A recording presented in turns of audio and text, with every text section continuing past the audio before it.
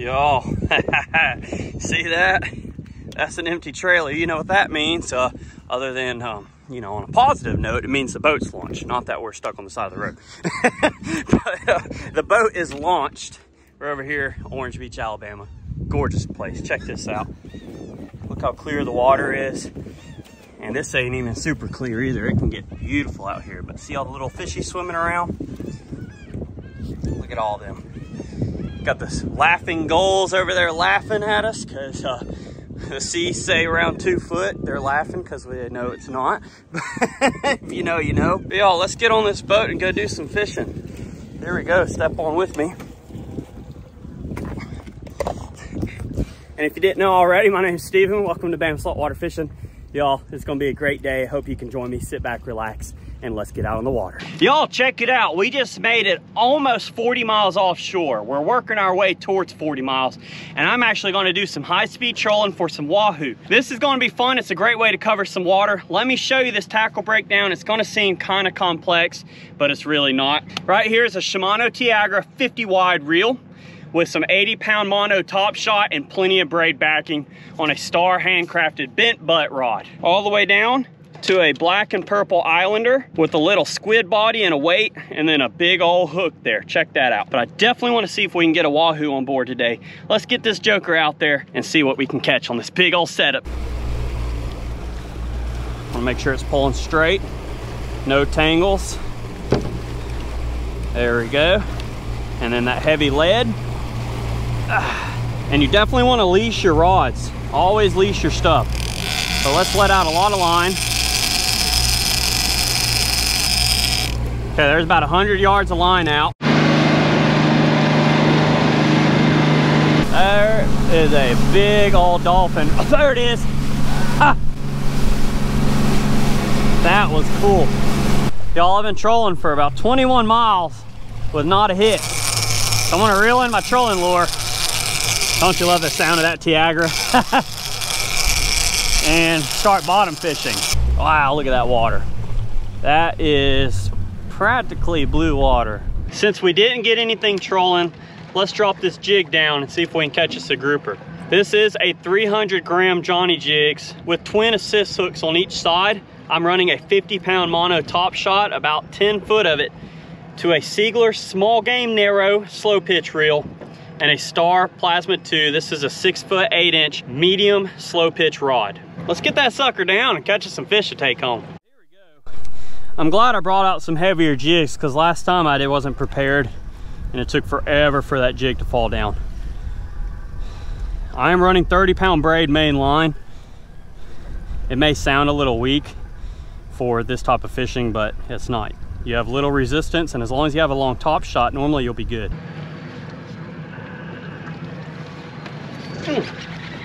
There's our first fish of the day.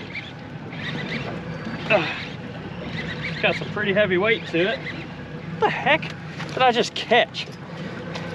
Really? Well, I just went through all that trouble to catch some grass. No, this is a bunch of line. Wow, that's a bunch of fishing line, actually. Yeah, because there's a crimped leader right there.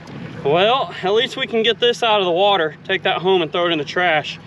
It's got some coral growing on it, kind of looks like. See that? Throw that back. Well, I caught fishing line, y'all.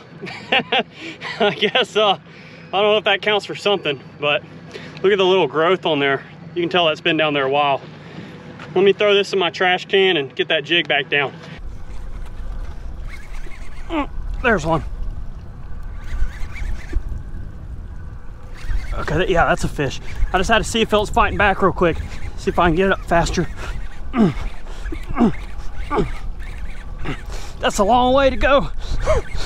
What are you? I see you down there. There's some color. What is ya? Almaco Jack? Yep. Check that out. Just got a nice Almaco Jack. He's gonna go home with us. There's no limits on these things in terms of size. They taste really good, kind of like a pompano, but that's a nice one. Let's throw them in the cooler. What I like to do on these fish is spike them. Hopefully the camera will pick it up. But take your fish spike,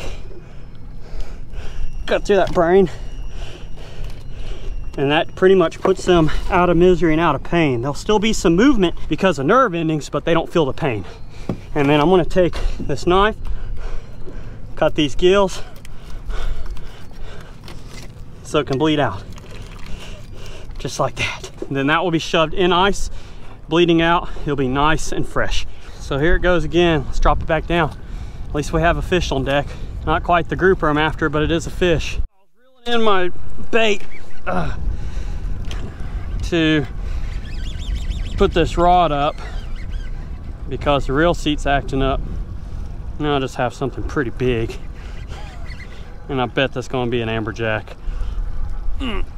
I bet it is. Oh yeah, that reel feels like it's about to slide back off again. And I have no clue how deep I'm at right now. If I can get this in, that'll be nice. Get my jig back. Well, first of all, find out what it is, then get my jig back.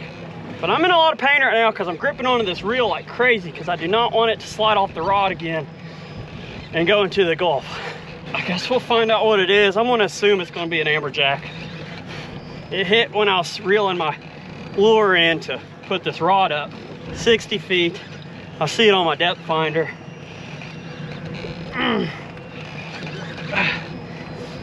Forty. Come on. Mm. Yep. Oh no! Wow, that's a freaking stud grouper. Is that a gag though? I don't know if that's a gag or not, but I'm gonna have to put that in. That is a stud grouper. Was an amberjack, it's a grouper. Check out the size of that grouper right there. Look at that mouth on the jig. One of these hooks are kind of straightened out, so I put a lot of pressure on them, but that's why it's good to have assist hooks like that, multiple. Because when you're pulling something up this big from 300 foot of water, you're gonna put a lot of stress on gear. But that is an awesome grouper on the jig. I wanna drop that jig back down again.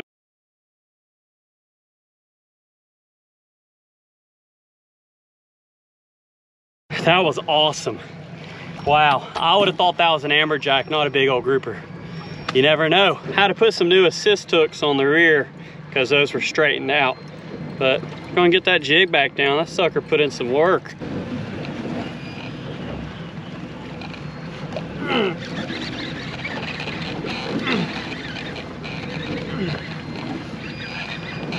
There we go. Another fish on the jig. Ah, still 100 foot down. Hey, come on, man. Let's see what you are. Don't be a jack. Don't be a jack. It is a jack. big old Almaco jack. Yeah, a big old Almaco. I'm gonna keep him too. There we go. Nice Almaco jack. I'm excited about that. These actually taste pretty good too. So he's gonna be spiked, bled out, and thrown in the cooler just like I did the other one. It's a nice fish. These are hard fighting fish. They're fun. So I'm gonna drop that back down again. There's the bottom. Choker up. Big. Mm. Mm, come on. Come on. Way down there. Woo! This is tough, y'all. Fun. Exciting. But definitely tough. Gonna try to get them closer to the boat. See it coming up. Uh, oh, there's a big shark behind it. And it's another big grouper. You know what's funny is he had somebody else's leader in his mouth with a, with a circle hook too. Check that out. Luckily, I was able to get him up with the jig. Check out that grouper on the jig. That is awesome. What a big one. Look how big his mouth is. Wow, and like I said, he had somebody else's leader and circle hook in his mouth. Must have broke him off. No match for that jig and the slow pitch rod though.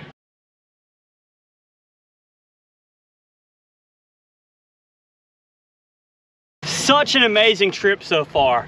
Now I'm gonna high speed troll on the way back home till I hit about 20 miles and then I'll head in. But this time I'm gonna be pulling the blue and white Islander here. Let's get this trolling lure out and head on home.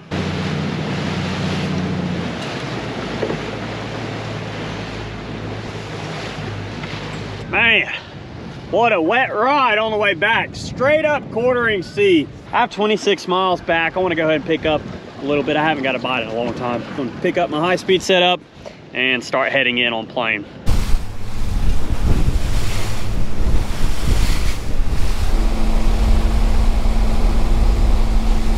Paul just made it back and even though it's practically summer, I am completely soaked and kind of cold. that was a miserable 40 miles back. Good gracious. But um, that's what happens when you take a bay boat, not designed for offshore, and go offshore. So it is what it is. I'm just glad to be back. Whew, that was tough. All right, y'all, guess what? I got another guest on board. He's been on here fishing with me before, and it's a lot calmer, and we're actually dry this time. Oh, yeah. we're, uh, I'm back out again. I didn't get to keep those grouper yesterday. Got a couple Almaco jacks, so we're gonna try to get redemption. Starting out trolling. Got a uh, got a lipless crank on that one, and then an Islander tracker on this one. We're gonna troll for kings, and then head out and do some bottom fishing and jigging. See if we can take something home. So sit back, relax. Let's get back into some fishing. Got my slow pitch set up with one of these little squids on there. This is that Nomad Squid Trex. Here we go. Oh, fish on oh no! the reel! Oh Dude, is it Monday or something? Story of my life right here, man. Trolling motors dangling, reels dangling. What else? Actually, I'm not going to ask that question. All right, y'all. This is not fun. I mean, it is fun, don't get me wrong. But, uh, but this isn't practical right here. Hey, at least I don't have to worry about him getting stuck in the trolling motor prop. This is too much excitement for the day. Dude, how far down was it? it's a good size one.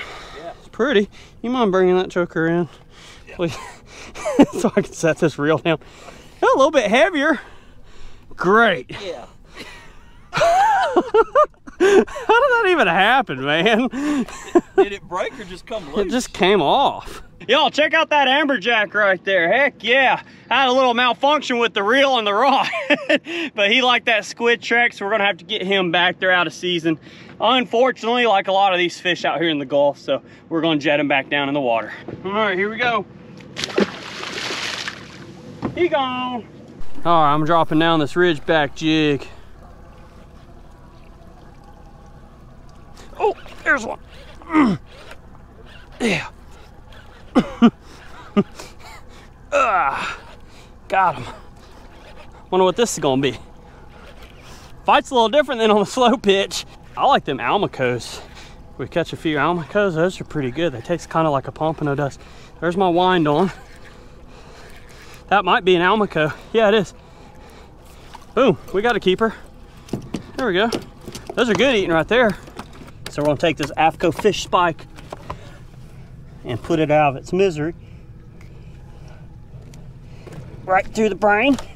It may seem grotesque, but it's actually a very humane way. Now you will see this fish continue to move, but that's just nerve endings.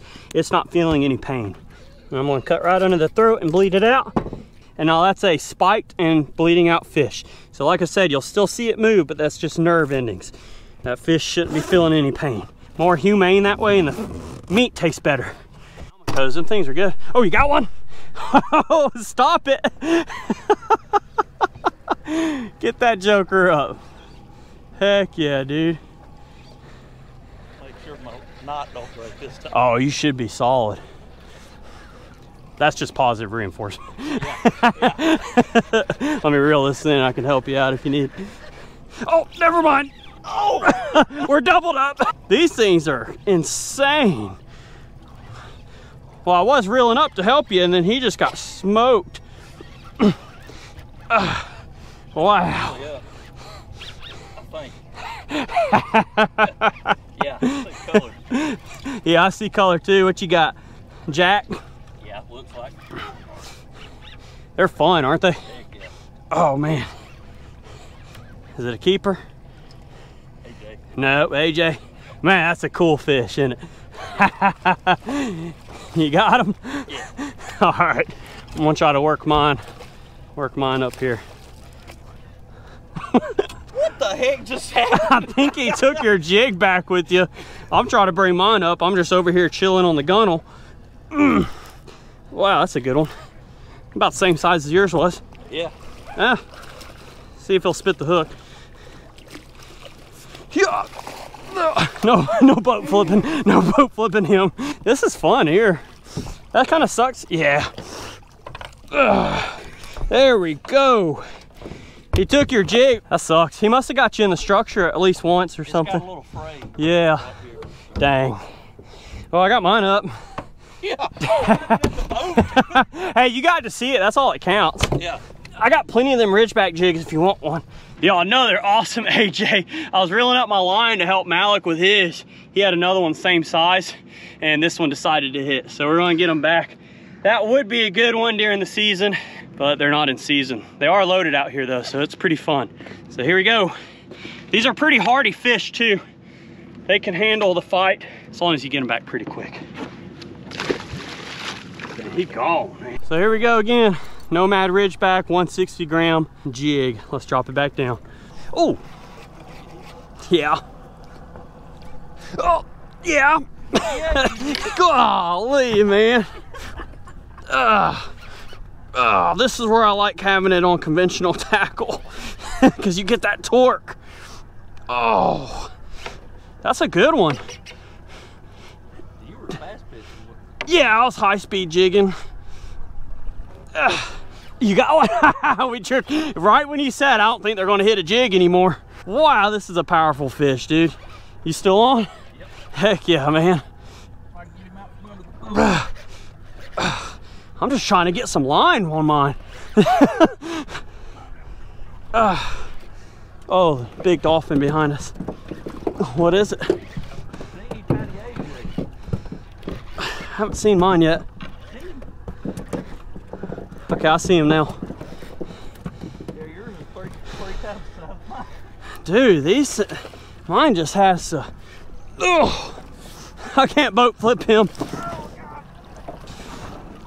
Oh, that's a good, that's a good, oh yeah, you got a baby, AJ. Yeah, so look at the size difference on these jacks. So both are not giants. this one's not a huge one, This one's definitely not. but it can almost eat him. we're gonna get, ow, we're gonna get these back and see what else we can catch. It is. Oh, dang. I told you.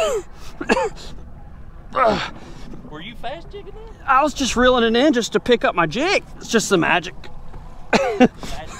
yeah. no, I was reeling it in to pick up my jig and um because I was gonna drop it down again and he just smacked it. AJ, kind of look like a tuna from that angle, don't it? Yeah. With the colors. Pretty fish. That is pretty, man. Um, that's fine. I think I can.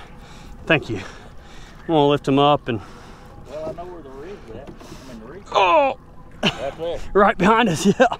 Yeah. Where the dolphins are going. There you go, bud. I'm gonna drop this jig back down. We just hopped over to another little reef. Nice calm day. We can run wherever we want. I think they're jacks. This other spot we moved on to just got some big ones on too. So I just had to drop a jig down, find out what it is. Y'all go like down below if you like seeing jigging videos like this because I enjoy doing it. It's fun. Oh, until they, until you get a stalemate like that. Mm, Sometimes you just got to do a clover leaf around that coordinate and you'll find it. little, whatever it is. Oh, there's another one below him.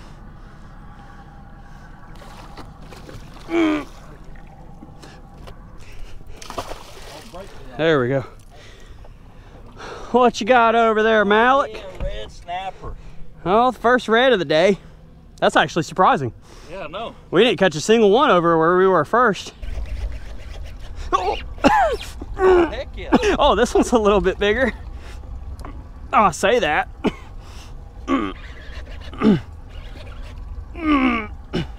Dude, this place is stacked with them. Oh, God. That thumb drag, bass fishermen know about it. There he is. That's a pretty one. They are. 15 pounds, you think? Yeah, how dense they are. Oh, that's what I like right there. There. Hey, you got got a bottom set up? Yep. I'm curious to see what you're catching. This was all fish bites. That's isn't that cool? It's an actual bait. Ah, they turn. He's good. At least the sharks haven't been bad. You can kind of take your. Yeah, I say that. Oh, dude, that back finger burning. It's a red. No, big beeliner. That's about what we want right there. Y'all check it out. Got a nice beeliner. That's another one for the cooler. Heck yeah, that's the first beeliner today, isn't it, Malik? Yep, first one. Cool. That's a good keeper right there. These things only have to be 10 inches. That's a great specimen one. They taste so good. Heck yeah. Here we go. Let's see if I can get another beeliner. Malik's over there jigging for whatever wants to hit his jig and land it. Yeah. is it going to come up anytime today? I think it is a red. Yep. I would have been a keeper in season. See that? All right, y'all, let's use the descending device because he is bloated. See how that's protruding and his stomach's blown up. So he will not swim down on his own. This is what I did with the grouper yesterday that I was trying to show y'all, but for some reason the camera wouldn't. So let's take our, I don't know how well you can see this, but we're gonna take this little SeaQualizer, clamp on, and then we got our weight and our rod and let's send this joker down. And I got it set at 50 foot. So it should release by the pressure at 50 foot and that fish will be healthy and be able to swim another day. I don't feel it on there anymore. I think it's gone. You can go get these at return 'em right I think returnthemright.org you can do that free class and get you one. And it's proven to help with catch and release on these reef fish better than venting. See and you reel it up and it opened up and that fish is down there and should survive good. And I just have it on a little short kite rod and a Penn Senator because I fish out here so much. That this works for me but if you just have a spare rod with a little snap swivel you just drop that sucker down on there and it works Nope, ain't going back there. there he is I see him nice jack Boom! Are you gonna get him on deck? you want me to hand line him for you? You got him. Ain't it insane, dude? it is just nuts. Malik got an awesome little AJ. Those are perfect fun size. So we just came in a little closer. We were catching a bunch of amberjack, which is fun, but we got kind of wore out and we can't keep them. So let's set out the deep diver for some kings and then islander.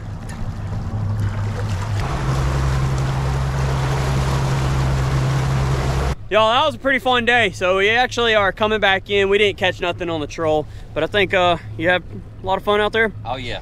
That was our plan was to get out on a calm day and actually find something to pull drag.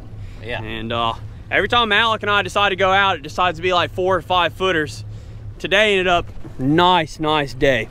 We just made it back to the boat ramp. I just dropped Malik off to back the truck up and load up.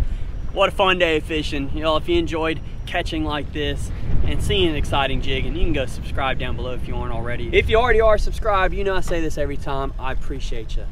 So we'll see you on the next Bama Saltwater Fishing video. Don't forget, go check out BamaSaltwater.com. I have a lot of tackle in there right now, and that helps support the channel. But I appreciate you for watching. We'll see you on the next Bama Saltwater Fishing video.